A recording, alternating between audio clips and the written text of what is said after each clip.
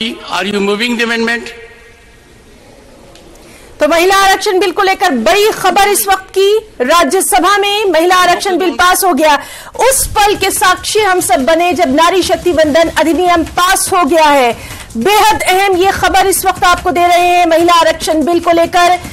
राज्यसभा में महिला आरक्षण बिल पास हो गया है। पीएम नरेंद्र मोदी खुद इस अहम मौके पर सदन में मौजूद हैं। और जिस तरह से लगातार हम देख रहे हैं कि उन्होंने तमाम सदस्यों से ये अपील की थी कि इस बिल को पास करें और अब राज्यसभा से भी महिला आरक्षण बिल पास हो गया है। बेहद अहम ये खबर न्यूज़ 18 जेकेएलएच के तमाम दर्शकों को दे रहे हैं।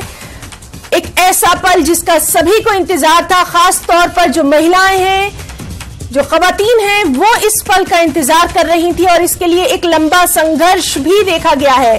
तो राज्यसभा से महिला आरक्षण बिल पास हो गया है न्यूज़ 18 जेकेएलएच पर। ये बड़ी खबर, उस इतिहास के साक्षी हम सब बने हैं। पहले ही सत्र में नई संसद ने जिस तरह से ये इतिहास रच दिया, ये काबिल तारीफ़ है। राज्यसभा में सर्वसम्मति से इस बिल को पास किया गया। तो पहले ही सेशन में जो नई संसद है, उसने इतिहास रच दिया है। नारी शक्ति वंदन अधिनियम पास हो गया है। किसी ने भी इस बिल का विरोध नहीं किया है। तो बेहद अहम ये खबर कि किसी ने भी इस बिल का विरोध नहीं किया, यानी नई संसद ने एक इतिहास रच दिया है महिला आरक्षण बिल पर।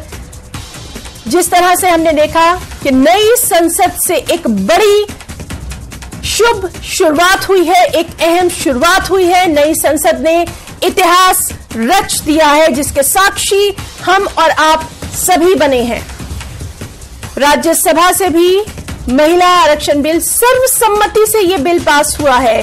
सबसे अहम ये, हमेशा ये तारीख में याद रखा जाएगा, बिल के पक्ष में 215 वोट पड़े और किसी ने भी इस बिल की मुखालिफत नहीं की। यानी जो नई संसद है, उसने अपने आप में एक नया इतिहास रच दिया है।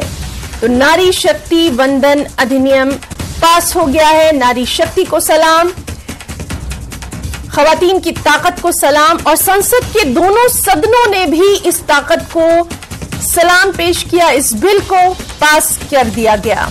नारी शक्ति का बंधन सबसे अहम ये कि पहला ही सत्र था नई संसद में, जिसमें ये शुभ काम हुआ है। राज्यसभा ने 215 और शून्य से, यानी 215 और सिफर से ही इस बिल को पास किया है। बेहद अहम ये खबर, हमेशा तारीख में ये खबर रहेगी। महिला आरक्षण बिल पर राज्यसभा की मोहर लगी और पूरी तरह से मोहर लगी। किसी ने भी इस बिल की मुखालिफत नहीं की। एक नई सुबह की शुरुआत कल से हम देखेंगे जब